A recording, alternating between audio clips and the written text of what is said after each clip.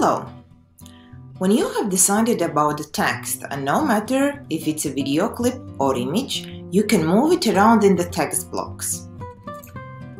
Under the text box, you will find text alignment. And from there, you can move the text around and decide where that will be placed on the each of the block.